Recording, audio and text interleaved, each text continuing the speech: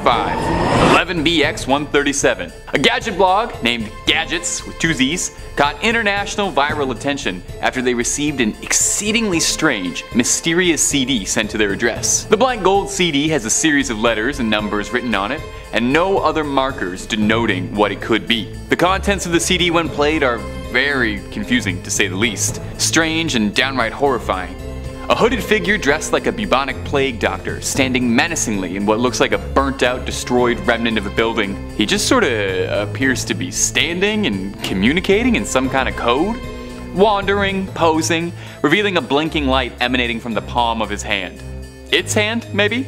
This thing does kind of have SCP-049 vibes. After about a minute, the hooded figure faces the wall, where he stays for the remainder of the video. But where the video goes from creepy to I might never sleep again levels of horrifying, is that when you run the audio through a spectrogram, a fancy word for a visualization of sound, images begin to appear of tortured bodies and a chilling threat spelling out, You are already dead. That's the kind of thing you'd love to receive in the mail unmarked. Internet sleuths the net over came together to try and uncover and unmask this nefarious figure in the terrifying video. Now, if it's any comfort for you, the images found in the spectrogram appear to be excerpts from low-rent horror movies, and people found screen captures that matched up pretty well. Speculation ran wild as to what this video could possibly mean. Was there a secret message or a threat behind its cryptic codes? Was it just an advertisement for something?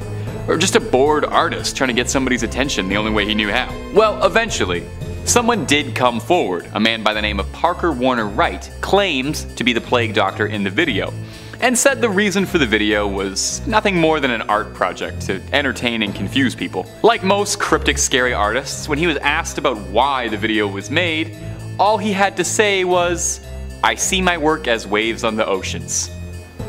Thanks. Number 4. I feel fantastic. Now, if you're a student in horrifying, unexplained YouTube clips and legends, perhaps you've been unfortunate enough to run into this one before. But if you haven't, I'm sorry. It's been years since I Feel Fantastic first graced the YouTube algorithm, and yet we're still no closer to understanding, uncovering what's going on here. The video is pretty short and sweet, but I doubt you'll actually be able to finish it. It's a mannequin looking android named Tara singing her little song for the camera. Now, she's got the chutzpah down pat, but her natural stage presence could use a little bit of work, maybe her tone too, because she kind of sings discordantly and completely terrifying. It, it sounds like the kind of thing that you would hear a few minutes before you wake up strapped to an ice cold slab operating table in a dank basement. The robot, we know, was built by John Bergeron, and that's about all we know. He envisioned his beloved Tara as being an android pop sensation, kind of like what I think Grimes might be. And I really don't want to shut down Tara's career before it's blossom, but she's got some serious hurdles to solve first. The incredibly unsettling nature of the video caused speculators to run wild with theories about what they were seeing. The most extreme ones go so far as to suggest John was a murderer, and Tara was a mannequin wearing the clothes of his victims. Some suggest he's just a very strange man who wanted a singing companion in his home. In all the years since this clip went viral, we've never got a follow-up on this bizarre video, and I doubt we're ever gonna get more answers on this one.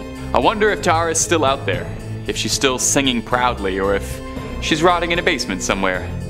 I just hope she's still practicing, you know? Number 3. Croatian Stalker. Do you ever feel like someone might be watching you? I know I do, quite a lot. I'll though it could be because someone is watching me right now, you're watching me right now, but I also just mean in my day to day. It's spine chilling to imagine that somebody's following you without you realizing for gosh knows what and, and trailing you around, preventing you from feeling safe. This next video, appropriately and concisely titled Croatian Stalking Tape, is a footage of two men recording themselves being pursued by a masked stranger. And according to the uploader, this was the last time either of them were ever seen. The video was uploaded not by anyone in the video, but rather a third party who somehow got a hold of it. And the only evidence we can find for it is that he claims it was recorded in 2005 and is a piece of evidence in a missing persons case for these two individuals. In the video, we can clearly see the two friends, uh, initially enjoying a night on the town together, when they're apprehended by a very strange man wearing a sack over his head.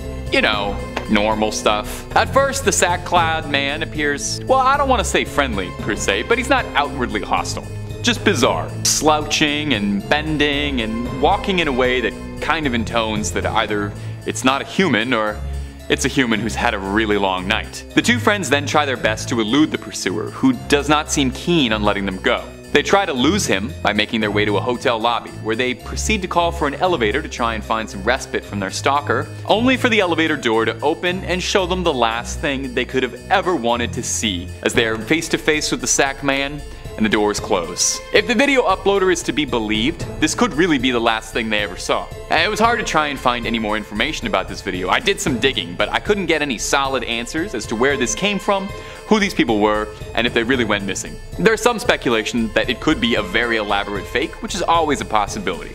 Let me know if anybody's got any intel on this one. Number 2. Video dating. Hey, dating is hard. We've all been there. Let me tell you, since that Dahmer show dropped on Netflix, it's not been easy for me. In today's world, it can be so hard to meet that perfect match, especially if you're on the brink of sanity. Uh, this video, uploaded entitled Video Dating Tape, was allegedly found in the VCR purchased at a car boot sale, which, if you're not familiar with that term, it's kind of like an English flea market where you sell stuff out of your cars. The VHS is a low quality clip of someone innocently enough trying to prevent themselves for a video dating service. It starts with a 36 year old man, Tony, kind of awkwardly explaining what he's all about. You know how they go. We've all been there. Where it starts to get unsettling though is the discordant screaming that we can hear in the background. And the guy in the video seems like he's mentally degrading very fast. Someone that can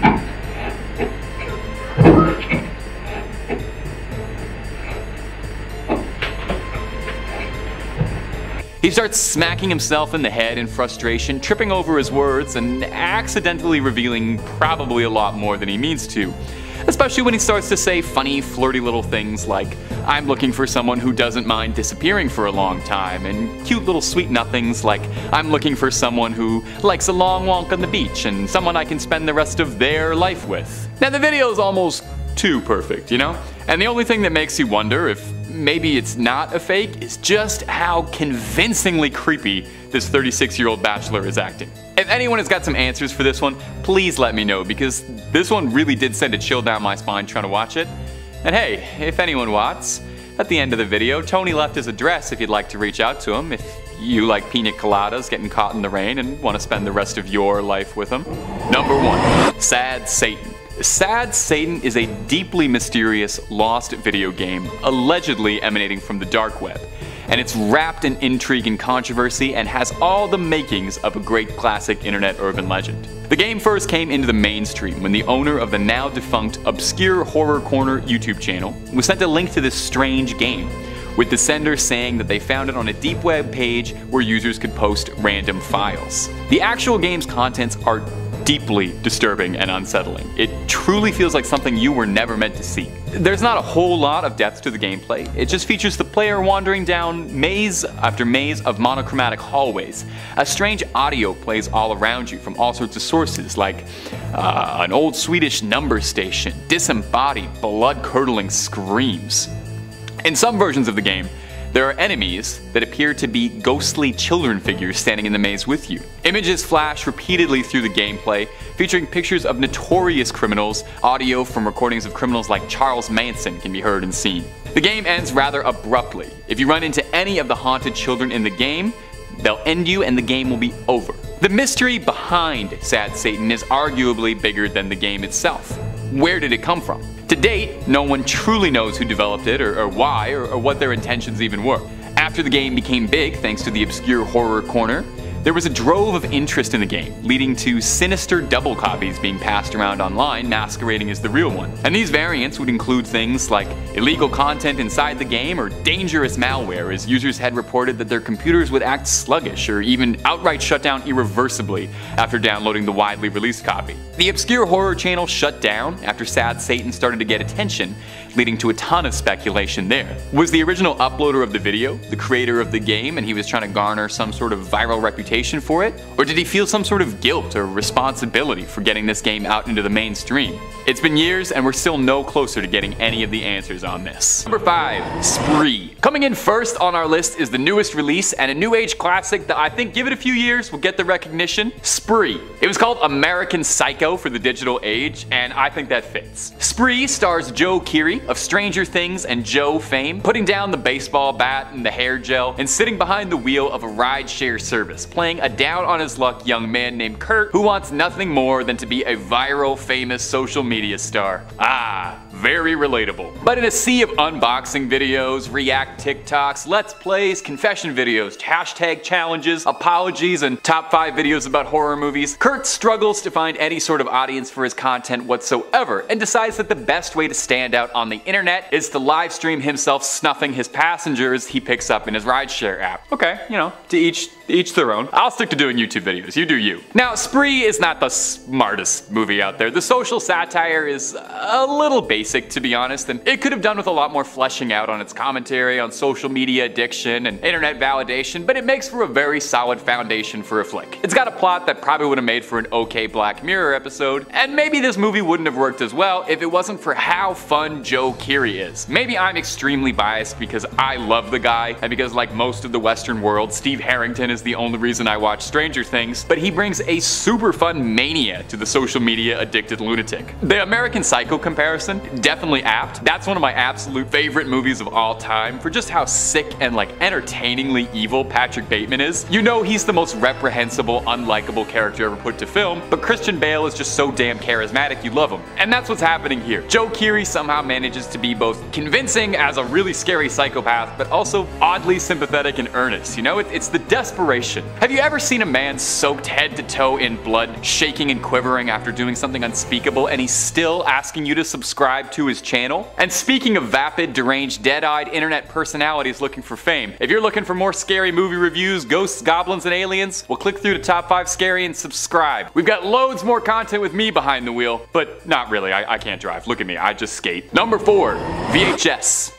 VHS eventually exploded into a mega hit franchise. I think there's like five or six of them, not even including spin-offs, but it all comes back to the daring original. VHS was a collection of horror movie shorts, all under the same theme of bizarre found footage horror, and the result is electric. It's like getting to sit at home for your own private horror movie film festival. Now, the collections of shorts featured were all directed by, at the time, fairly underground independent horror movie directors, but now looking back at it, it's like they've assembled a really impressive pantheon of rising horror legend. We got stuff from Adam Wingard, who gave us You're Next in the 2016 Blair Witch reboot, which was okay. We got one from David Bruckner, who would go on to direct The Ritual in the 2022 Hellraiser. And we've got Ti West, who would make the A24 darling Pearl. So it's a film with nothing but wall-to-wall talent and creativity at their best. It also made the format of being an anthology movie like part of the plot of the movie itself, which I thought was very meta and juicy. A group of career crooks film themselves committing violent and vile acts, and hey, I wonder if they knew the guy from the first movie.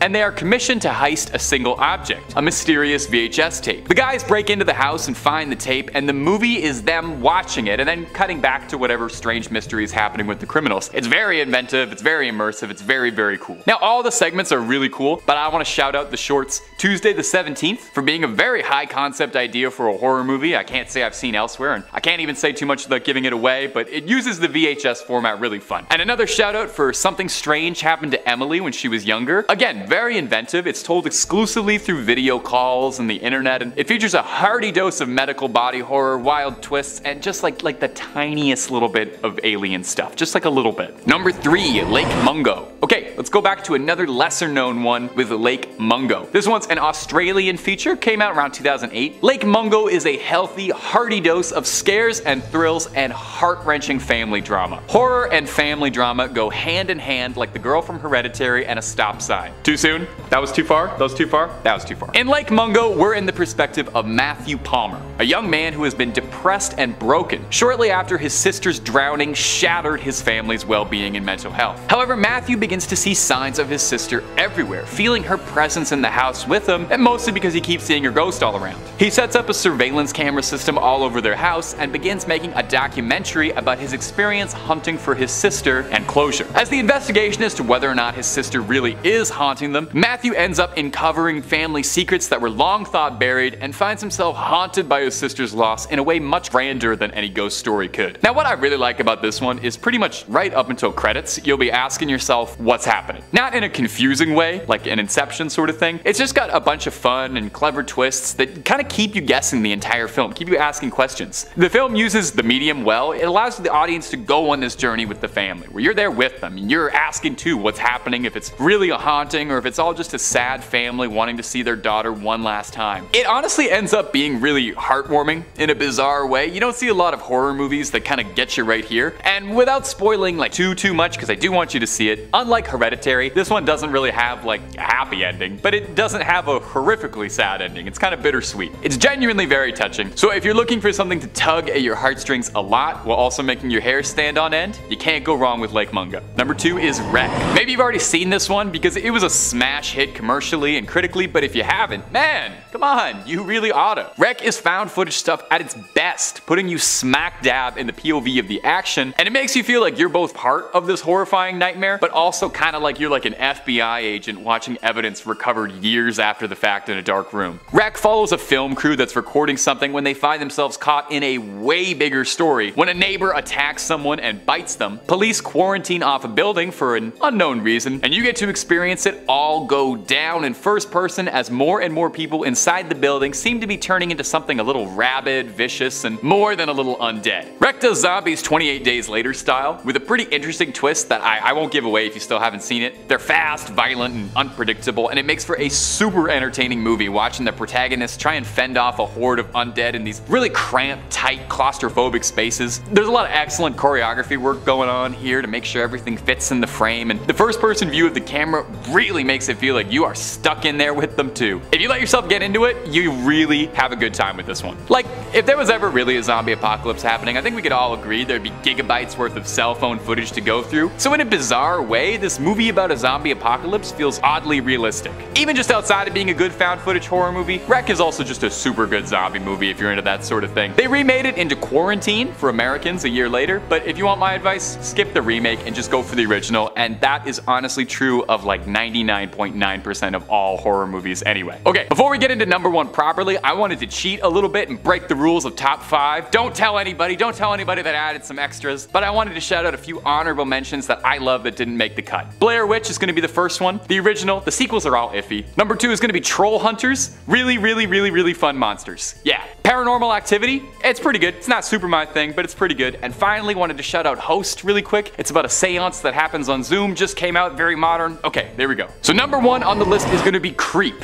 It's got nothing to do with Radiohead. Sorry. Coming to us from Patrick Brice and indie darling Mark Duplass, he takes a break from earnestly mumbling through an indie movie to play a completely chilling, well, the title said it, Creep. This movie is basically just watching Mark Duplass be really, really, really weird in front of a camera for an hour and 20 minutes. It's a great example of when you can do a lot more with a lot less. This movie is as absolutely bare bones as it gets. There's two actors in the entire movie, and they're the two guys who wrote and directed the movie. A struggling videographer, Aaron, gets an offer to film a series of personal diaries for a strange client, Joseph, who has an inoperable brain tumor and wants to leave a series of videos behind for his unborn child. Which does sound nice until Aaron gets there and discovers very quickly something is really off about this and this isn't going to be a normal job. This movie is all performance, and Duplass crushes it as the bizarre, mysterious Joseph. He plays him really like realistically creepy, like he's the kind of guy you'd meet on a bus and spend the rest of the day thinking about. Like you know something is wrong with the guy, but you're not really sure in what way and just how afraid of him and how dangerous he might be until it's too late. It's a movie that really gets in your head and gets right under your skin. If you leave the movie terrified of the main character but also very enamored in equal measures, worry not because Brice and Duplass agree with you since there's a Creep 2 which is apparently just as good as the first. I haven't seen it yet, you know, I only have so much time, but I should, should see it eventually since there is a Creep 3 in early pre-production stages. So although this guy may be a completely unsettling weirdo, we love this creep and can't get enough. He belongs. Number 5 on this list is the alien baby. This is a clip of what looks like an alien child. We know how the government is with aliens and anything extraterrestrial, so it's clear why they wouldn't want the public looking at something like this too closely. I mean, they don't let anyone in on anything happening in any of their secret bases, so it makes sense they wouldn't want us watching a video like something like this. Let's show 30 seconds of this clip and you guys comment down below what the heck this thing is. Now, how are you feeling? You feeling okay? You feel well? Go and get you something? Want a glass of water? We're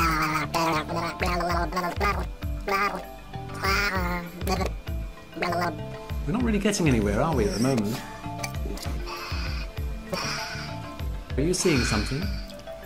Is there something you see over there? So, very clearly, that is not a human child. Now, it's possible that could be an animal of some kind, but I have no idea what type of animal looks like that. That's why, if I had to guess, we're looking at some type of alien creature. This is a really interesting find because it means that aliens might have children similar to how we have children. Obviously, we don't know the process to how this baby came about, but the idea that aliens grow like we grow. That's important information because for a long time people have speculated on their reproductive process. To just assume that they grow like we grow would be ignorant on our part, but now this looks like some serious evidence. What I want to see though is a clip of this creature several years from now. What does this thing look like then? It doesn't look too threatening today, but you already know that it's going to turn into something deadly most likely. Number 4 on this list is the dinosaurs.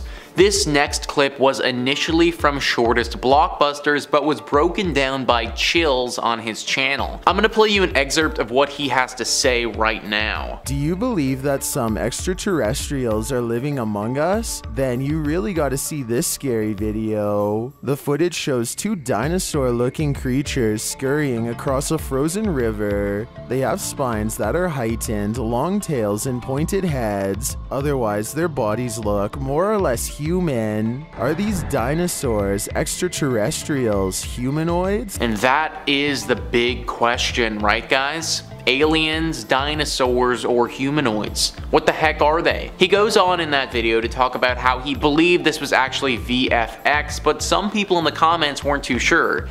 VFX could easily be the explanation, but it could also be used as an excuse. The government has chalked a lot of things up to VFX and CGI before, and some of that has turned out to be real, so why can't this? Aliens living among us or other creatures living among us has been talked about and rumored for a long time. We have had no definitive proof, but videos like this just keep getting released with no explanation. I wouldn't be surprised if in a few years time some real proof finally surfaces confirming a lot of our suspicions about these creatures. Number 3 on this list is the river creature.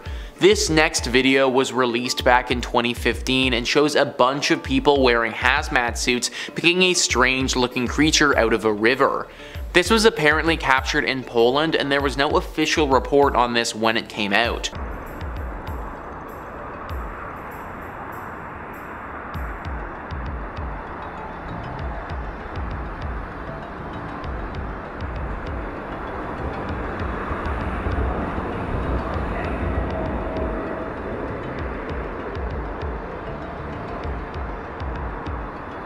We can see, there is a bunch of people with hazmat suits picking up this weird creature from the river.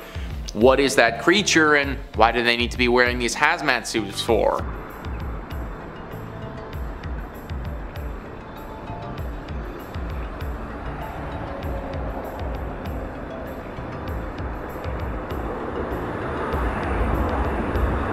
So they hand it off to some other people in different colored hazmat suits and then walk to a place where presumably the person filming can't go. I also wouldn't be surprised if the person filming was already in a spot where they weren't allowed to be and just snuck in anyways. Maybe this is in some secret base of some kind where experiments are being performed. I mean why else would they need hazmat suits? Definitely a very strange one there guys. Comment down below if you have any idea what they were doing here and what that thing was. Number two on this list is the creepy mermaid.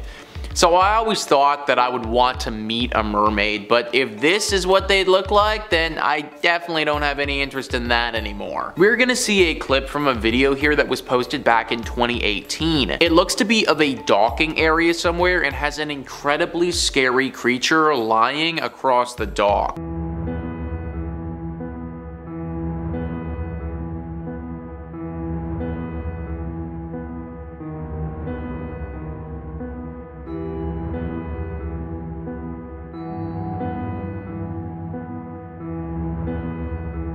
So what the hell was that thing, guys? That is one messed up creature that is hanging around there. Maybe it got scared off by the camera and decided that it wanted to head back in the water after it spotted the person filming it. It had a tail kind of like a mermaid, but at the same time, there wasn't really anything human about this thing, so maybe it isn't connected to that at all. But if it isn't a mer person, then what sort of creature could this thing be and why haven't we heard more about it? You have to imagine that if creatures like this are swimming around our waters, that the government, they'd be aware of this, but they haven't said anything about it at all. Who knows how many creepy things are in our oceans that we don't know about. And number one on this list is the creepy creature. The video that I'm gonna show you was uploaded by Keenan Music to YouTube on May 7th, 2021. It's a very short clip, only 15 seconds long, of someone investigating Japan using Google Earth and discovering something super creepy and weird. An unexplained object is gonna be flying in the sky over top of a Japanese city. Let's roll the clip now.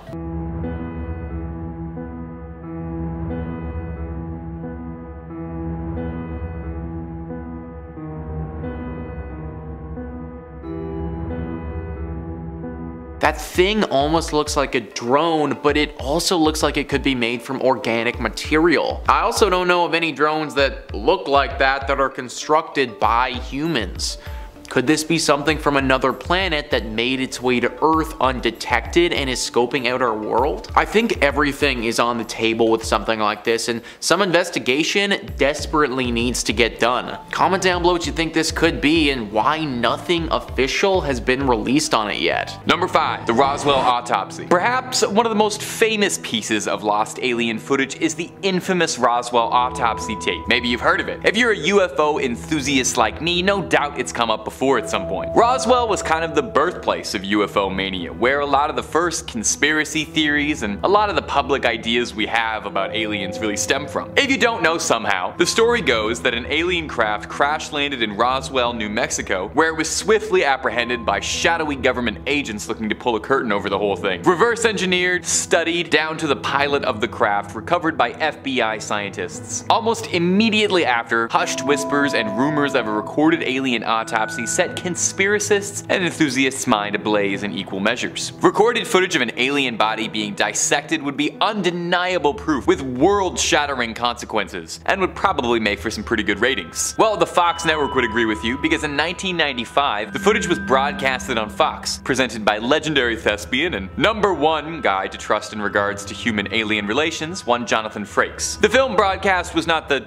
true footage of the autopsy, but rather a high-budget recreation to show for a wider public audience what had happened. The director claims he had seen the original footage from the 1947 autopsy, but couldn't release it. He claims that he spliced shots from the original footage into the faked footage to provide some clarity, but didn't tell us what was real and what wasn't. And he insists that the video wasn't faked, but rather a reconstruction for educational purposes. Now despite only being a reenactment, the special effects of the footage are remarkable. Does look pretty believable unbelievable. It was helmed by industry legend Stan Winston, the special effects warlock responsible for bringing the Predator and the aliens alike. The alien body in the footage was filled with sheep guts, chicken entrails, pig knuckles, and raspberry jam to create the illusion of an alien filled to bursting with foreign organs and probably tasted halfway decent with a little bit of soy sauce. So was the footage ever actually real or was it all just cooked up to sweep up viewers on a dwindling TV season? The director maintains always that what he saw was real, he just wasn't allowed to show it and did his best best to show us what happened. There's an interesting discussion to be had there, I think. Was he just showing how easy it is to fraud something, manipulate people into believing whatever they see? Who's to say if the true footage ever did come out, we would even believe it? We would probably just dismiss it the exact same way. But if you want to see way more scary footage, real or not, dismissible or provable, we have got loads and loads of that for you to enjoy. So click through, stay a while, and get scared all night long with top 5 scary. I'll be here the whole night and in this building. Number 4. Edgar Mitchell. The thing about most alien sightings is that they don't always come from the most reputable of sources. You know, it's usually a random internet post, maybe a blurry shot from an iPhone kind of thing, posted on Reddit with a caption like, what is this? Or, you know, it's somebody who was walking home late at night and saw some lights in the sky and didn't know it was a plane. And while I think we should respect the voice of the people and the common man, it'd be nice if we got someone with a little bit of clout to their name. Well, luckily we've got more than a few astronauts who've seen bizarre things up there and are willing to share their stories. Edgar Mitchell is one such man. He stood on the face of the moon before, he helped save the Apollo 14 mission from becoming a disaster, he's the sixth man to ever walk on the moon, and he is a lifelong defender and believer in aliens and UFOs. Mitchell claims that he's seen things that prove existence of life outside the planet. First and foremost,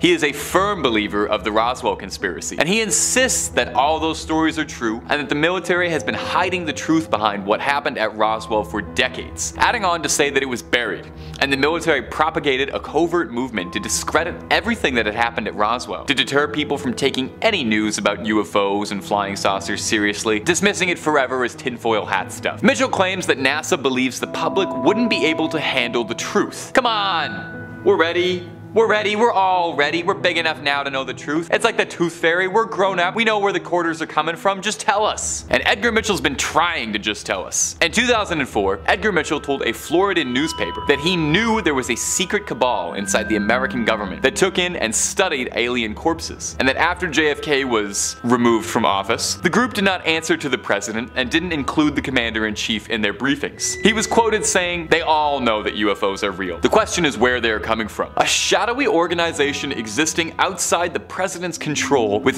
insider knowledge on aliens and trying to suppress the public. Did Mr. Mitchell just casually confirm the men in black are real? Now NASA themselves obviously denied all of Mitchell's statements, but obviously they would. What government is going to throw their hands up and admit that they have been slicing up alien bodies on the side? Number 3. The first flying saucer. Now while the Roswell, New Mexico incident was the UFO sighting that really shot alien sightings into the mainstream public consciousness and kind of defined what alien sightings look like, you know, the idea of little gray or green men and flying saucers. It was obviously far from the first alien sighting ever recorded, just kind of the most popular. But not even a few weeks earlier, there was actually another famous sighting, and one that's thought to be the progenitor for sightings of UFOs being thought of as flying saucers. Kenneth Arnold was an American aviator. Unlike most UFO sightings, Kenneth never changed his story once, never made any kind of surrealist, outrageous claims, and stuck to the same story for the rest of his life. He saw weird saucers in the air he couldn't explain.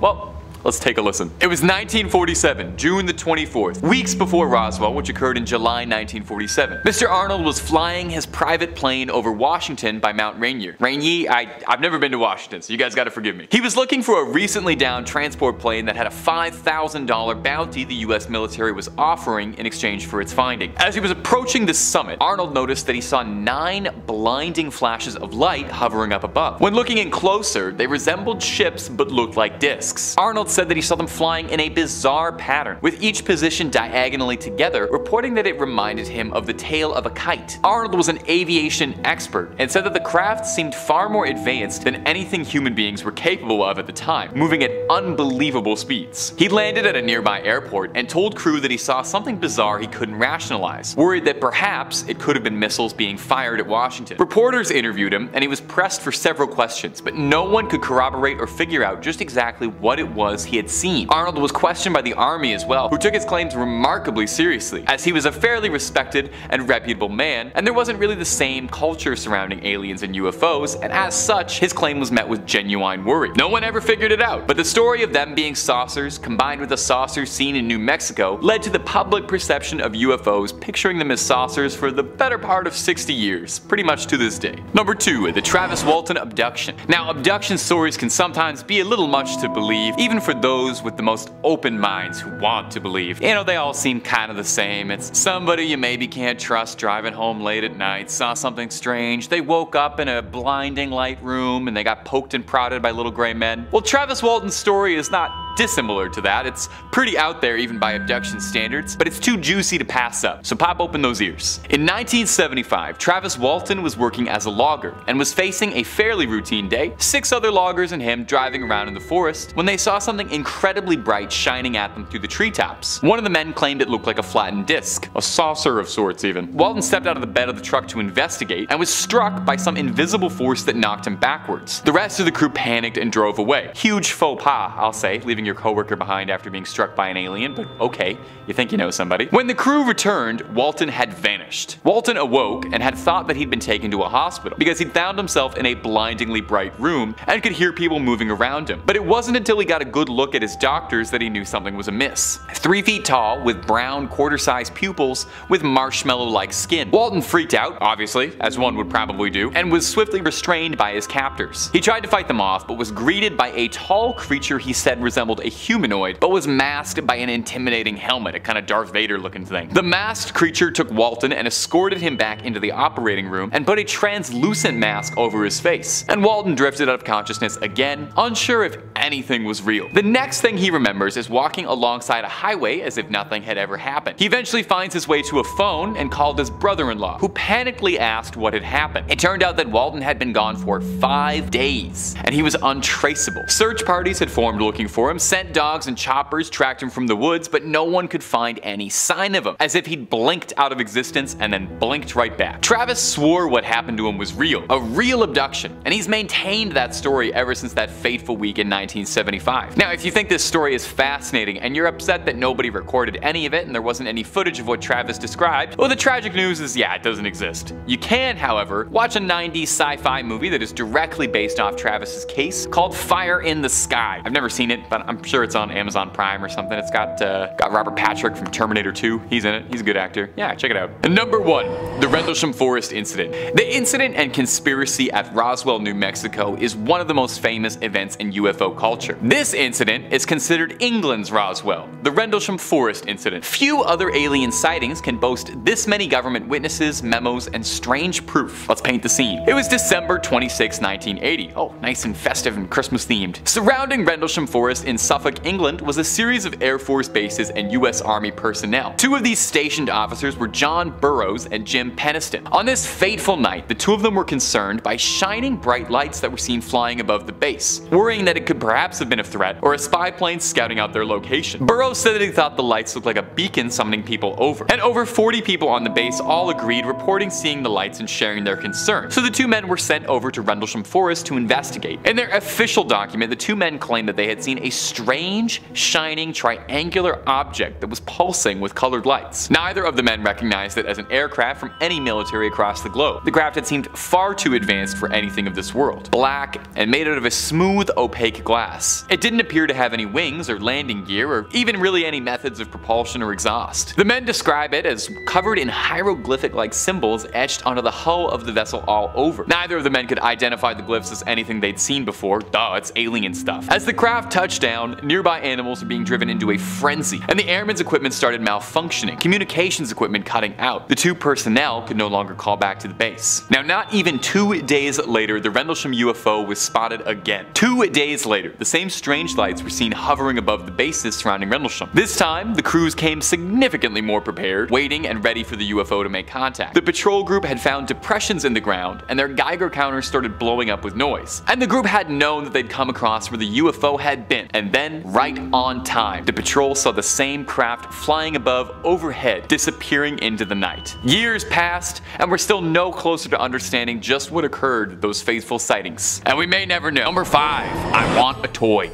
Coming up first on our list today is going to be this creepy VHS tape uploaded to YouTube, I want a toy.mp4. It's been circulating around the net for a bit, and maybe you've actually seen it before if you've got your nose to the grindstone vis-a-vis scary videos like yours truly. This video was uploaded to a channel called Battington, and is said to have been discovered on a lost VHS tape, and has left people with a real uneasy feeling in their stomach afterwards, and not just from watching all that static. The video itself, it's only about 5 minutes long, but those 5 minutes are more than enough to make your skin crawl and your hair stand on end. I'm burpy. The footage is grainy and distorted, making it difficult to discern what exactly it is you're even watching. It feels like a staticky nightmare, like something you kind of remember but can't quite focus on. It's like a recording of a TV show you've never heard of or seen before, aimed at what looks like preschoolers or kindergartners. There's a puppet that looks like he's probably pretty good friends with Annabelle and the puppet from Saw, and he's sitting singing his lovely, horrifying rendition of Twinkle Twinkle Little Star for You. Ah, horrifying puppets and slowed down scary nursery rhymes.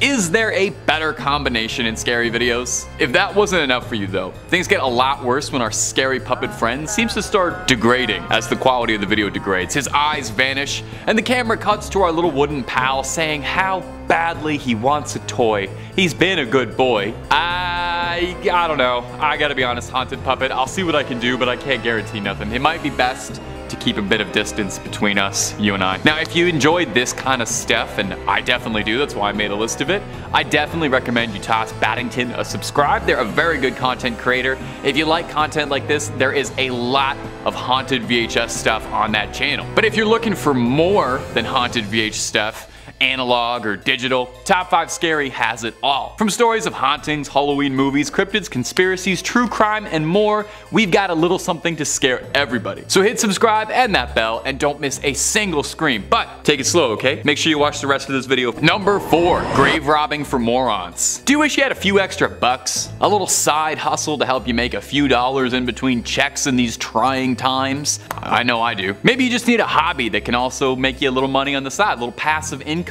Maybe something fun like selling old clothes on Depop or I don't know, something outdoorsy like grave robbing. Luckily, there's an instructional video you have just got to see. That's our next entry, Grave Robbing for Morons. The video itself is a how-to guide for individuals interested in grave robbing. It provides step-by-step instructions on how to locate and dig up graves, as well as helpful little tips for avoiding detection by the authorities. Now, the video does kind of seem like it might be a joke. It's presented kind of humorous, you know, there's some funny graphics and sarcastic commentary. People for a long time have wondered if the video is real, if this guy's really confessing to a criminal act, or if he's just doing a joke in poor taste. Grave robbing is definitely pretty illegal, but it's also one of those things that's considered like, I don't know, highly immoral, blasphemous, if that's your sort of thing. It's fine to grave rob if you're in like a video game and you're taking Viking gold out of an old crypt, but it's a little bit different when you're cracking open coffins in real life, I would say. Now, some people argue that the video is, it's just a work of satire, it's just a joke,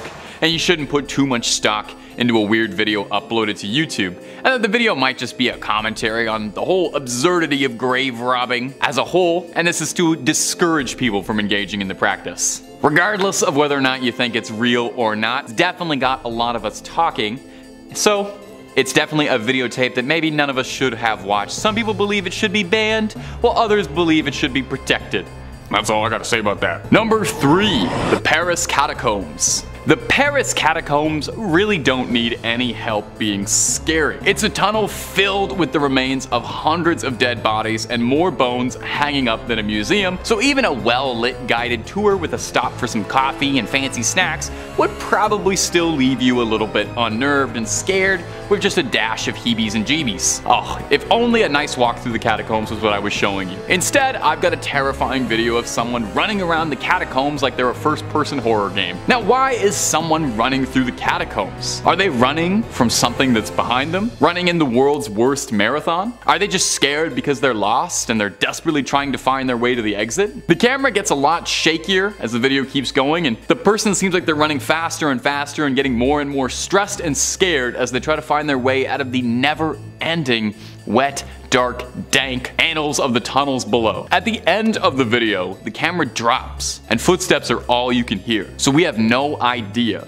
what happened to our first person view recording. Now, someone in the comments pointed out that something to keep in mind is that even just on the map presented of the catacombs, you can go from one side of the catacombs all the way to the other. Now, a lot of the public tour is blocked off, but there are spots where you can leave the path and wander into the depths of the catacombs, and they do not advise you to do this. In fact, they would rather prefer that you do not you can get yourself really lost. Parisian police seal every entrance they find that isn't supposed to be on the tour, which means potentially you could go into one entrance, come back and find yourself in a sealed entrance and you can do this for miles and miles. Explorers who are familiar with the catacombs say that the depths aren't even slightly mapped out. So there are miles and miles of just unknown catacomb out there. There are ways down no one knows and paths that could lead who knows where. Just hope you're not claustrophobic. Claustrophobic. Number two, Candle Cove. If you're really tuned into internet horror and creepy campfire stories for a digital age, then perhaps you've come across Candle Cove before. This freaky story in particular actually scared me to my core when I was younger, like really chilled my bones. So it feels very appropriate if I can traumatize a new generation. I love to give back. What can I say? I love to keep the cycle. The legend goes that Candle Cove was a TV show for younger audiences about pirates, my favorite subject. Filmed as a puppet show like something like the Thunderbirds. It first popped up on a forum for Nostalgic TV, where someone asked if anybody remembered this old show Candle Cove. Tons of users came out of the woodwork to share their stories and happy memories of this silly little show. It was like a group effort, everybody tossing in what little bits of trivia they remembered. But people were frustrated that it was hard to find any footage or like DVD recordings of the show. Well, someone uploaded a clip of Candle Cove and it is pretty darn unsettling. As I've already mentioned, puppets are inherently terrifying and then you mix in some VHS artifacts, scratching and screaming, and something that's supposed to be innocent turns into a horror show real quick. A lot of the details about the show sound like it was way too scary for its young audience. There's a character named Skin Taker, a skeleton pirate wearing skin, or an episode that was just the puppets shaking and screaming into the camera. Now, where the legend of Candle Cove gets downright horrifying and freaky is that someone in the original forum thread where it was first discovered returned to the post, saying that he met up with his parents and he had asked if they knew anything about Candle Cove or remembered how much he used to love that show. And he was told by his mother she was always confused whenever he would talk about that pirate puppet show, since whenever he'd say he was watching it, he was just sitting by the TV watching static. Oh, I, still, still to this day, sends a little chill up my spine. They eventually actually adapted the uh, the story of Candle Cove into a TV show. I can't remember what the name of it's called, so I probably shouldn't even have included this fucking right now. Maybe done some research. Got all of that. I am who I am. Number one, Skinnamarink-a-Dink-a-Dink. This next one is short and sweet and also came out of Battington's channel. Two shoutouts in one video. Wow, we're gonna have to cut this guy a check. Well, when you're making some of the best scary VHS content out on the web, you can expect more than one shoutout in a video. This video is very short but spooky. Inspired by the sleeper indie horror hit Skinamarink, this short video focuses in on an animatronic bear, one that I'm sure fans of indie horror PC games will instantly recognize. Much like the movie Skinamarink, the clip really lets the tension and horror build up before unleashing a torrent of jump scares on you, and then fading out on a blurry, out of focus image of the bear from before, lingering on you and staring right into your soul. And I don't know when else I'll get a public platform for this, but please watch Skinamarink if you like this sort of thing. If you like spooky VHS horror, that's literally what the whole movie is, and it's a Canadian indie horror movie, so by Canadian content regulations, I have to mention it. Number six, the bonus haunted video. I know, I know, a sixth entry on top five scary? What is he doing? He's letting the power go to his head. I know this is top five, but I found a sixth one and it was just too good not to include. The story about it was amazing, the footage itself is horrifying, and I think you'll agree with me for including it. If you found a videotape that had a mysterious blank label reading surprise, would you watch it? I feel like a lifetime of studying horror films has prepared me to know better than to do anything so stupid. Well, in 2018, a software engineer named Foon Turing discovered a mysterious VHS tape in a charity shop in Milpitas, California. The tape looked old, definitely a few decades at least, with a worn out sticker on the front reading surprise, and a smiley face, looking like a prop out of a horror movie. It looked like the thing that has the girl from the ring on it. Most of us probably would have chucked that into a dumpster and set it on fire, but Foon is braver than most of us, took the tape home, and popped it into an old VHS player. We got the footage, and I'm gonna warn you, there's a reason I saved this for the end. Please don't write the channel and complain if this was too much for you. It's pretty disturbing. Number five, The Blair Witch Project. I remember seeing this when I was like 10, and I'm not gonna lie, it kind of scared the shit out of me. It still does. It tripped me out because like back then my parents were like, oh don't worry honey, this is made up after like every scary movie we watched. But this time they were like, was that real? You know, my dad just sat there quiet thinking. I, I, I was scared. Because the whole production apparently did such an amazing job from top to tail of its release, making the audience still feel like it really happened. The Blair Witch Project is probably the most famous found footage movie ever made. The campaign tactic was that the viewers were told through missing persons posters and that the characters were missing while researching in the woods for this mythical Blair Witch. Their IMDb page even listed the actors as missing and presumed deceased in the first year of the film's release. Even the film's website contained actors posing as investigators giving testimonies about their evidence. They even shared childhood photos of the three leads to add a sense of realism. By August 1999, the website had received 160 million hits, and the movie went from a flop at midnight to the top worldwide. During screenings, the filmmakers made advertising efforts to promote the events in the film as factual, including the distribution of flyers at all of the film festivals such as Sundance and Cannes, asking viewers to come forward with any information about the missing students. All the actors making their feature film debuts as well were described as missing and presumed dead. The actors' parents even started receiving condolence calls and sympathy letters. The actors got to witness the movie blow up but they weren't even invited to the screenings due to the publicity. Imagine not being able to go see your own premiere, or even really celebrate your huge role in this huge successful movie. It's kind of sad for the actors, don't you think? I think it is. Number 4. The Bay. Of course, if you like what we do here on Top 5 Scary, throw us a thumbs up down below or comment which one of these real-ish movies scared you the most. The Bay is a 2012 American mockumentary horror film directed by Barry Levinson and written by Michael Wallach. The movie's basically about a small town getting infected with a contaminated water source that two oceanographers discovered in the bay without saying anything. After investigating fish being eaten from the inside out, they realize that the culprit is this tongue-eating louse creature that looks like the bugs from like Starship Troopers. Yeah, really scary. The movie came out as a result of a documentary Levinson was asked to produce about real problems facing the Chesapeake Bay. Although Levinson chose to abandon the documentary upon learning that it was already being covered by a huge news network organization. Levinson instead decided to use all that research to produce this horror film, which he hoped would shed light on the issues facing Chesapeake Bay. As such, when promoting the film, he noted that more than 80% of the film is real and actually factual information. Also, 80% is so real that it had to wait to be released and cleared first. Uh, what? Yeah, this was like a real issue, hence the confusion around the found footage. Apparently this nuclear disaster monster giant isopod in the bay aren't real, but the small isopods filmed are very real. You see a tight shot of the isopod, Levinson said. That's not CGI, that's real. We just pulled that out of the Atlantic Ocean. The isopods do this really gruesome thing, which the Bay does a great example of, is that they eat the fish from inside out. All that stuff is actually factual. A leaking nuclear reactor actually does have a runoff heading towards the Chesapeake Bay. Its quantities aren't great, but the fact that it's actually happening seems scary enough. The chicken farm runoff stuff is actually factual too. At the end of the day, yes, it's a movie, not a documentary, but it's infused with a lot of things that are really real. I think it adds to the nature of the piece, end quote. Hey, spoken like a true artist. And that's why the film has gotten so many great reviews. Give it a watch, very spooky, very well done. Number 3. The Poughkeepsie Tapes.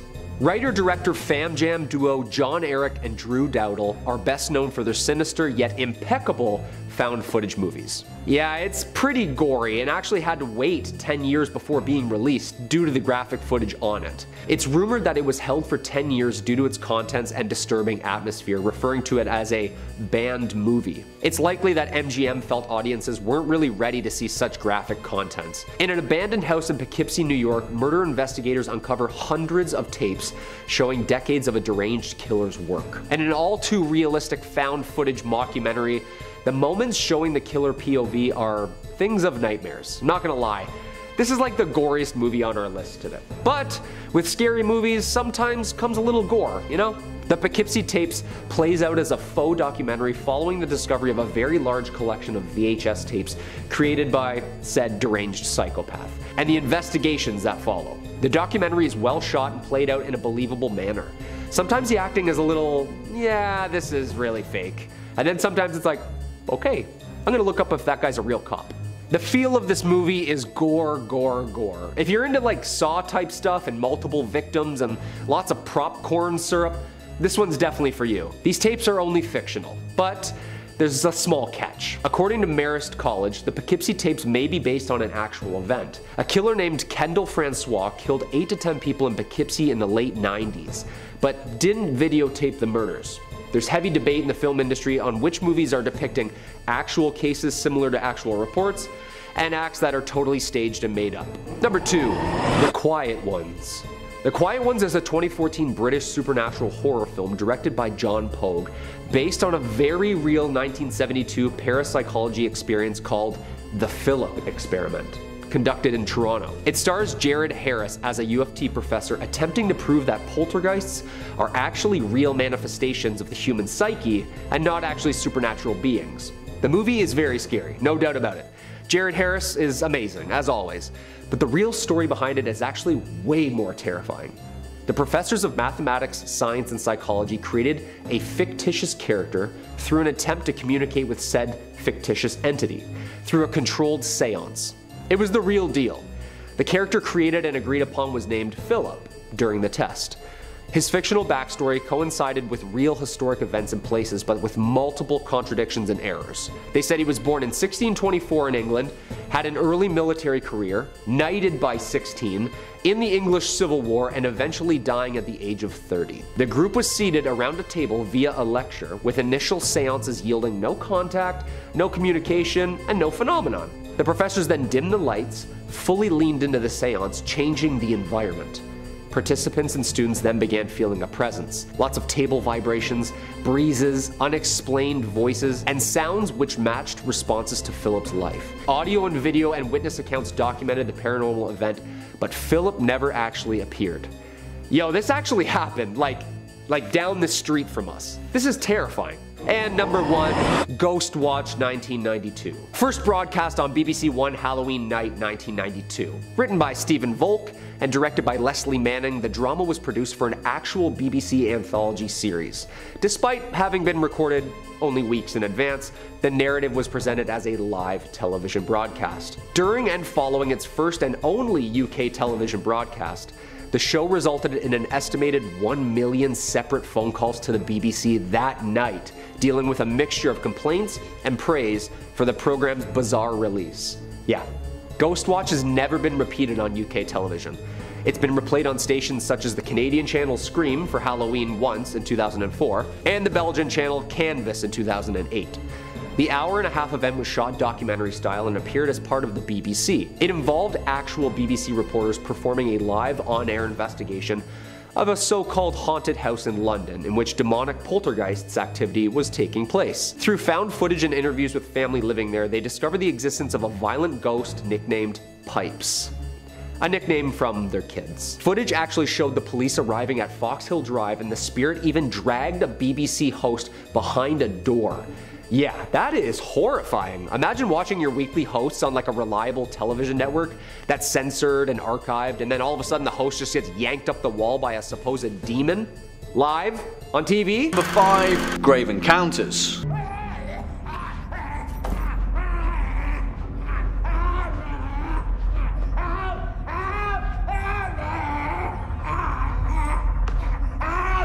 Now, you guys had a lot to say about this particular film in the first part of this series, and rightly so, because, put it this way, if every episode of Most Haunted was as awesome as this, then we'd have enough content to keep us going for the next few decades. Written and directed by the Vicious Brothers, aka Colin Minihan and Stuart Ortiz, Grave Encounters is a 2011 Canadian supernatural horror film that strikes at the vein of paranormal reality TV, which, as I mentioned previously, is a much needed antidote to the found footage genre as a whole. We as an audience need to be able to suspend our disbelief when faced with such a personal depiction of horror. Again, it strikes the question, why are they still filming? Well, this film follows Lance Preston, the charismatic host of Grave Encounters, an infamous ghost investigation TV series, and his crew as they make their way through the abandoned mental asylum Collingwood Psychiatric Hospital. What plays out is a genuinely nerve-wracking classical ghost story. I'm not going to sugarcoat it, there's not much more to the plot other than the pursuit of the paranormal and the pains that come with it. But as far as that goes, Grave Encounters does it very convincingly, and it's jammed with some genuinely uneasy moments. So much so that the Vicious Brothers have extended the Grave Encounters series and developed quite the cult following in the process. Coming in next at number 4, Devil's Pass.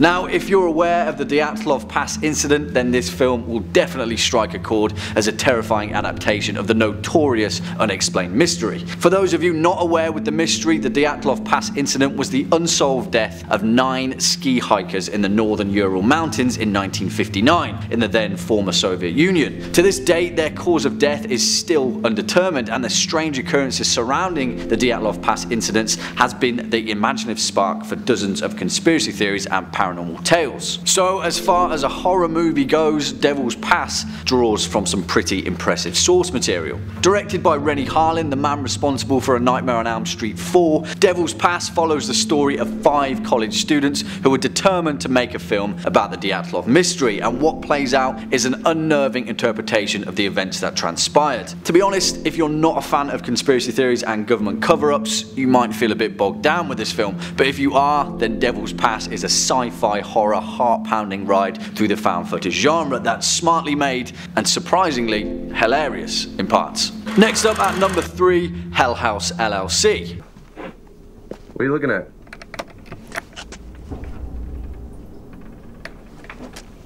Holy Got me, man.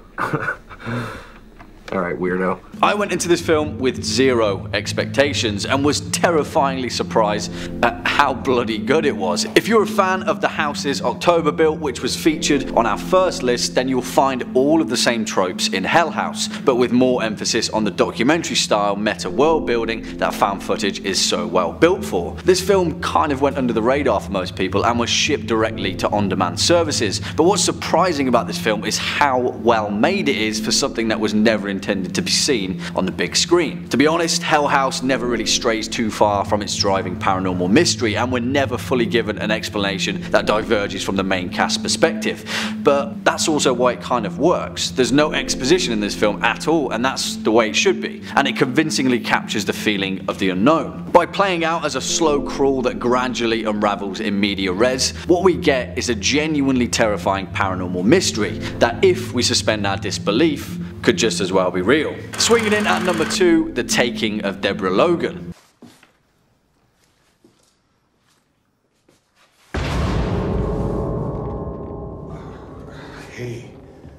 Letting all my heat out.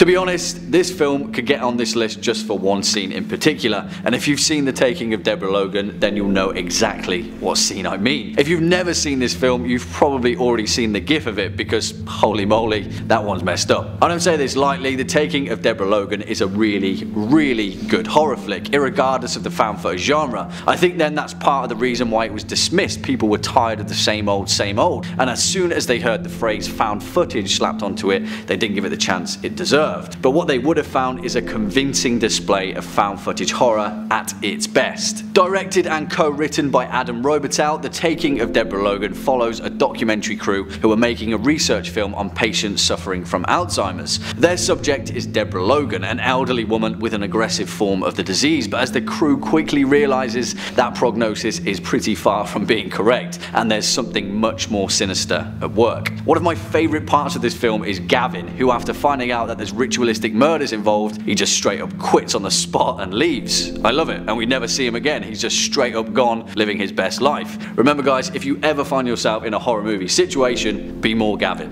And finally, our number one spot, The Tunnel.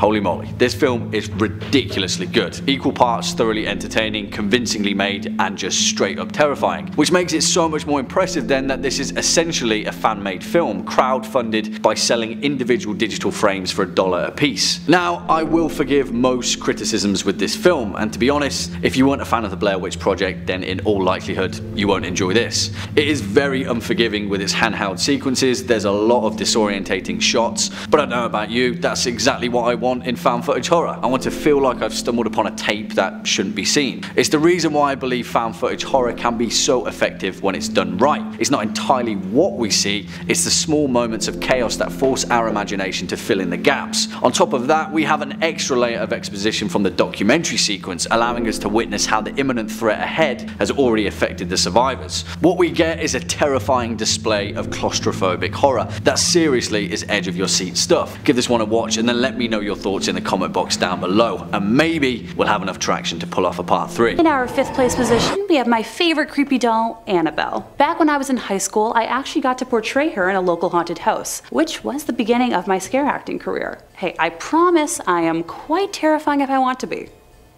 I promise. For those of you who might be rolling their eyes right now, I'm going to refresh memories on the real Annabelle story.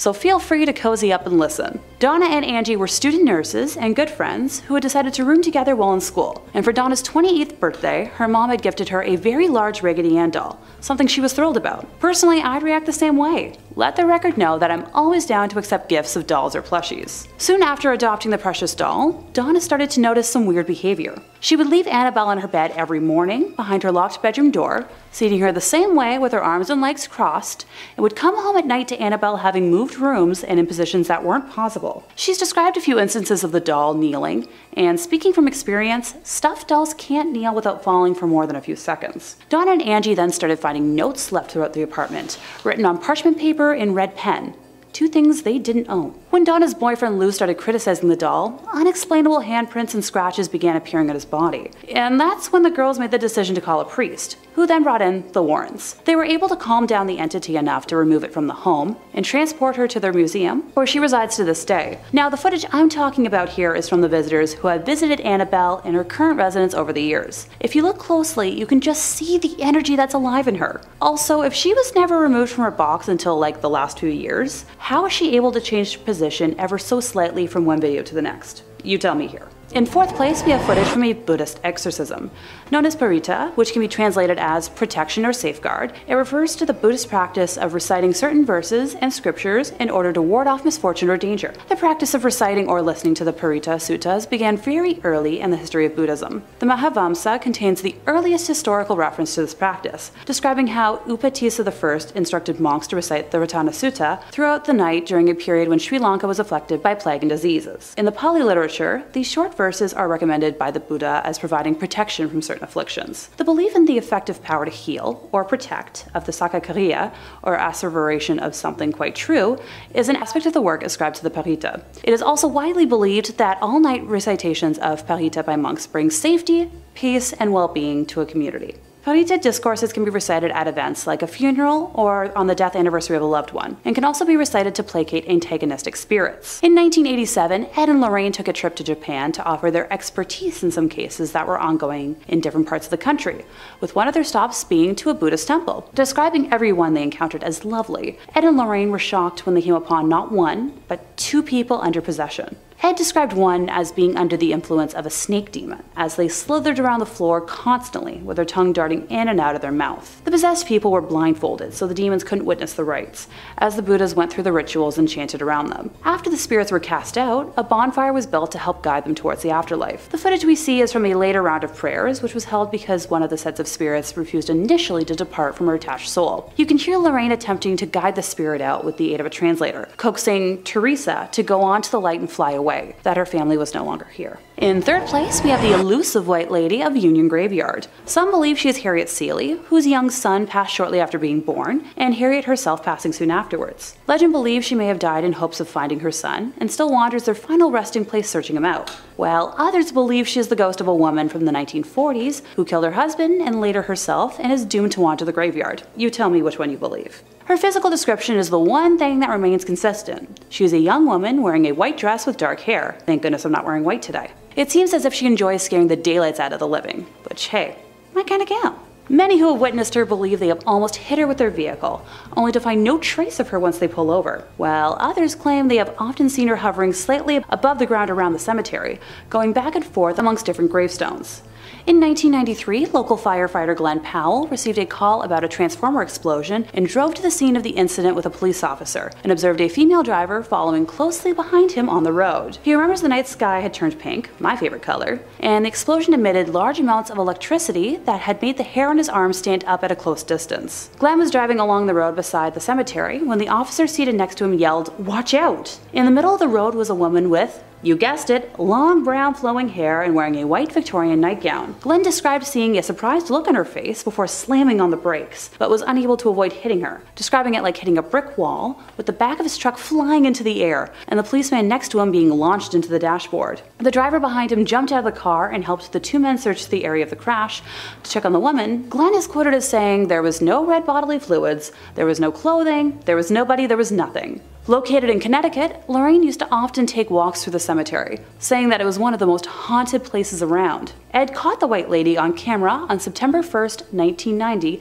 at 2:40 a.m., his seventh night in a row of filming at the cemetery, determined to have footage as proof, and we can show some of that footage to you now. He described dark figures surrounding her, shapes that he said were wood ghosts that seemed to jump on her while they all argued. In second place, we have the Amityville Horror. On November 13th of 1974, Ronald DeFeo Sr., his wife, and four of their offspring, Dawn, Allison, Mark, and John had their lives ended by a firearm inside their home in suburban Amityville, New York. And at the time, homicide detectives claimed it was the largest number of victims in a single slang on Long Island. The deceased were found in their nightclothes and were shot in the back, apparently while they were asleep. There were no signs of a struggle inside the home, where a sign hanging outside the main entrance read, High Hopes. Sure. The killings were reported by the only surviving member of the family, the oldest son. Ronald. He told the police that he arrived at the home shortly after 6 p.m. but found the front door locked, so he crawled into the house through a window and stumbled across the icky scene. He later confessed that he had ended the lives of his family around 3:30 a.m., acting out the scenes for detectives as he described how he took out his family one by one, with the weapon eventually being found in Amityville Creek. Ronald's trial began in October of 1975. His defense attorney, William Weber, tried to make a case that the defendant, who allegedly heard voices, was innocent by reason of insanity, but the court eventually sentenced him to six concurrent 25 year to life sentences. Try saying that five times fast. Yeesh. A year later, the Lutz family moved into the now abandoned home, and that's where this goes from simply tragic to much, much more. Most of the DeFeo family's furniture was still in the house because it was included for $400 as part of the deal. Eh, you know what? I'd take that deal too.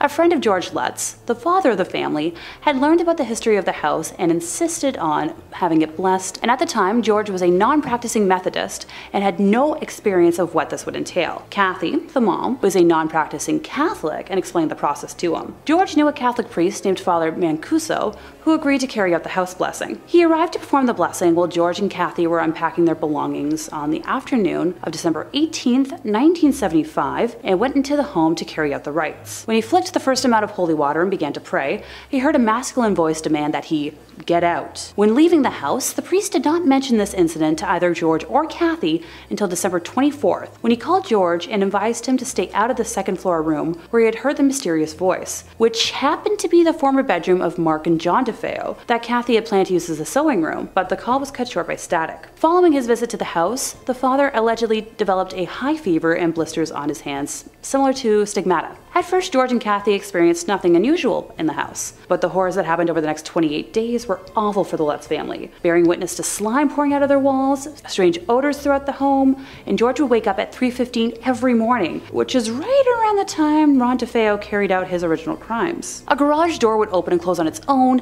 an invisible spirit knocked a knife down in the kitchen, a pig-like creature with red eyes was reported staring at George and his son Daniel through a window. Also, Kathy and two of her children experienced bouts of levitation while trying to sleep. The footage we have from this heinous month is of a boy with glowing eyes, believed to be the spirit of the late John DeFeo. By mid January of 1976, after another attempt at a house blessing by George and Kathy, they experienced what would be their final night in the house. Now, the Lutzes were never able to give a full account of the events that took place on this occasion, describing them as too frightening. After getting in touch with Father Mancuso, the Lutzes decided to take some belongings and stay at Kathy's mother's house in nearby Deer Park, New York, until they had sorted out the problems with the house. They claimed the phenomena followed them there, describing greenish black slime coming up the staircase towards them. Yeah, no thanks. And finally, in first place, we have footage of an American exorcism. While the video is blurred out on YouTube to protect the identity of the poor girl, I personally think it's up there as one of the most frightening things I've ever seen. At an hour and 20 minutes long, it depicts a Catholic bishop in Connecticut attempting to converse with a demonic entity that has possessed the body of an innocent young woman, while her family restrains her. Ed and Lorraine were the ones to alert the church to the possession after meeting her during an audience chat session that was held at the conclusion of one of their public presentations. During portions of the exorcism when prayer is done, you can hear the demon acting wildly, and it originally refuses to give its name, both of which are quite common in cases of demonic possession. Eventually, we learn that there are four demons possessing our victim, with one of them identifying themselves as Robert, which happens to be a name associated with the son of Satan. I'll let a snippet roll now, allowing you to hear the woman for yourself. Number 5. The Kane Parsons Shorts. Now if you're a fan of internet horror like uh, Slender Man, Marble Hornets, or the SCP Foundation, you know all that sort of stuff, then no doubt you're probably already well versed in the backrooms and all the horror those odorous 70s hallways emanate but I know my mom watches my videos sometimes, so I thought I'd start off with a quick summary and a flash of the most famous Backrooms content before we really get into it. Initially starting life as a small post on a certain image board, you know the one, in 2019, Backrooms refers to a space between realities that manifests as a dreary, never-ending stretch of abandoned office building hallways. A sea of stained yellow wallpaper and terrible carpets. What started as one small post really quickly developed into a fandom with everybody writing their own backstories, continuity, lore, and all these narratives coming together in a big cosmic gumbo in this setting of the fractal hallways that live between worlds. One of the most famous, and I would argue what kind of propelled the backrooms from underground horror community stuff to mainstream, was a series of short films by a very young YouTuber named Kane Parsons. Parsons kickstarted the trend of making backrooms found footage videos, which is what we're looking at today, and pretty much everything we're going to be looking at was inspired by what he worked on. It's fantastic stuff, honestly. Triply so when you learn that he was 16 years old when he made it. If you haven't seen any of them yet, I'd definitely say go check them out after this video. They're a great little bit of shoestring budget internet horror. The original video is probably the best little like microcosm of it. There's a bunch and bunch of them, but they're all well made. And if you really liked it and you think, hey, I'd enjoy that concept for roughly 90 minutes, I hope I can sit in a big room with 300 other people and eat some popcorn and do that. I got some fantastic news for you. A24 Productions is working on a feature-length script about the backrooms. It's going to be directed by Parsons with collaboration from James Wan, who if you don't recognize the name was the director of Saw and The Conjuring. Time will tell if that movie will be a total hit or a flop, but nonetheless I think it's incredibly cool that an independent filmmaker is gonna get to make a big horror movie before he can even legally rent a car. That's like so cool. And if you want more internet horror, you are in exactly the right place for it, because you can click through on our channel and see the hundreds upon hundreds of scary videos we've been making for years. Put together some words that you like, you'll find something for it, I guarantee you. Stay subscribed, stay scared, and stay watching this video, okay? We got more backrooms coming up for you. Number four, no clipping through reality. Now, in that very first post that described the backrooms and created the, the initial lore, it said that the way you get to the backrooms is by no clipping through reality. If you spent most of your childhood outside playing sports with other kids and you weren't exclusively surfing the Steam forums, maybe the term no clip is unfamiliar with you. It's a video game development term, meaning no collisions, allowing you to pass through all objects in a digital space. It's mostly used for development, but it can also be a little cheat code in some games. I had a lot of fun no clipping through Half-Life 2 and feeling like I was some sort of temporal god, just like blitzing through all the levels in six seconds. The idea of no clipping in reality sounds kind of funny, but also if you like really thought about it, just terrifying. I mean, imagine if you woke up one day and physics just stopped working entirely. It would probably stress me out. You don't have to imagine much more, because thanks to a redditor and TikToker by the handle of Active Hypocrite, we have a look at just what phasing through reality might look like. And, and here's where it would go. Starts kind of funny, the chair scrambling around like a source engine prop glitching out, and then not even 10 seconds later, our hapless protagonist finds themselves no clipping through reality, and landing flat in the back rooms, presumably to spend out the rest of their days. Imagine how scary that would be. Your whole life's just upturned and half a second like that, you're enjoying reality, enjoying all the pleasures that existence has to offer, and then BAM! To the back rooms with you. I gotta say, people give TikTok a lot of guff, and rightfully so. I've seen a lot of terrible things on there. But I do like how it's become a video platform for really quick, like, bite-sized little snacks of filmmaking. Any platform that allows creative people a medium for which to serve up scares, a-okay with me. Number 3. The entrance to the backrooms on Google Earth. It's a popular trend on TikTok lately where users claim that they're able to find doorways into the infamous backrooms, finding the portals that connect the realities between, and that they can find these points on Google Earth. I've watched a bunch of them. Some of them, I'm not gonna lie, pretty corny, but some of them are pretty fun, like the one I've found for you here. Posted to us from user Super Game Kid, and I, I, I have to throw this out here. The video in question, when it was posted, it was posted with the title, not fake. So if you had any doubts, well there it is, not fake. Duh. Not like anyone can attach photos to Google Earth or anything, no sir. Alright, we'll roll some of this clip in question. Now remember, this user found something strange in Japan. A big, mysterious looking complex, maybe a high-tech government institution, something that wouldn't look too out of place in an SCP story or something. That's already odd enough, because I don't know what this building really is. When you zoom in on it like they did, you get an up-close and personal view of everybody's favorite never-ending liminal series of hallways, the back rooms. I like to think that if the back rooms are out there, you know, in between realities. This endlessly expanding space of musty hallways. The way to access it was through the most advanced high-tech facility. Billions of dollars spent to get trapped in a mysterious stinky space. Isn't that mostly the plot of Stranger Things? Who knows what sort of research could be done on the back rooms? Who knows what sort of efforts have been made to reach them? You just try typing SV no clip zero. That's a little joke for uh, gamers up there. All I know is that it's not anything I'm looking to explore anytime soon, so I'm thankful for videos like this, where I can experience the back rooms from the comfort of my own reality with doorways and exits and an outside and everything. Number two, death rooms. I think we've been getting a little tame with these videos. And I mean, that's sort of the nature of the back rooms, isn't it? It's more about the strange wistfulness that comes from a place that's familiar, nostalgic, but unrecognizable, like a dream being described to you by someone else. Bit of an esoteric fear, but esoteric fear doesn't really make for good videos YouTubers can make stupid thumbnails and the faces reacting to about. So sometimes we gotta crank it up just a little bit while also meeting content guidelines. Much like the SCP Foundation, there's all sorts of contributors to the shared urban legend that is the backrooms. Some of them see the backrooms as a lot more hostile. Let's roll some of this recovered found footage from YouTuber ChuggoYT called The Death Walls. Whatever is going on in this clip is bad news bears and then some. We see it from the perspective of a couple of explorers donning hazmat suits, presumably from some super secret government institution you need Black Ops level clearance to even know about. Maybe the SCP Foundation? I could definitely see those guys getting involved in something like this. Whatever has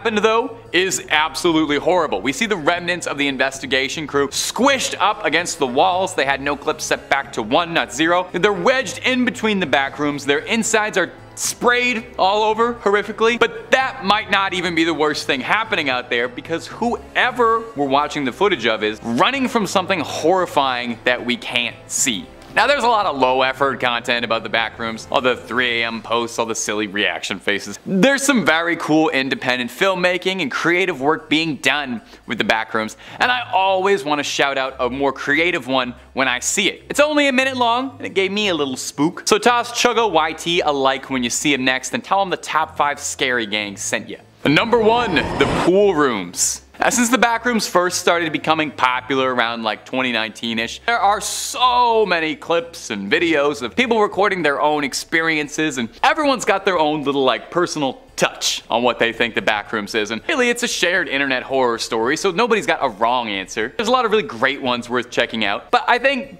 some of them don't quite get what was making it so scary or, or, unique in the first place. If it's just monsters and bad guys and scary writings on the walls, that's like any other horror setting. When the original post was just about a bizarre office space that looked familiar but off in a way that you can't really place. This video posted to Reddit called The Pool Rooms really captures that for me. It's an endless, sprawling, familiar location. Doesn't really look like anything out of reality. It looks almost like it could be like an abandoned shopping mall from the 80s or something. You know, that ceramic style, that trademark soulless architecture and design. You can tell where like a food court Taco Bell should be. Except it's all been mostly flooded up to about shin level. It's enough to be annoying, but not enough to be impossible to travel through. There is really something about this, for me at least. The stillness when something should be there, something will leap out at you but never comes. Look at it for a long time and just think about how unpleasant it would be to be in there. Cold, lonely, constantly wet, no retrieval or even a moment to catch your breath and get dry. The back rooms and the whole concept of it is, is scariest when I think it's like a, a dream that you're only sort of half remembering, you're not sure what's real and what isn't. Everything in this video has been real though, I'll tell you that. I would never tell you something fake on this channel. I love the pool rooms. I love the aesthetic of it. The redditor who posted it, one Jared Pike, does a lot of cool art, very much in this style of like scary liminal spaces on his personal Instagram. So if you were like me and you were enamored by the haunting beauty of this clip, give the guy a follow because it ain't easy for a struggling artist out there. Not like, not like I would know anything about that.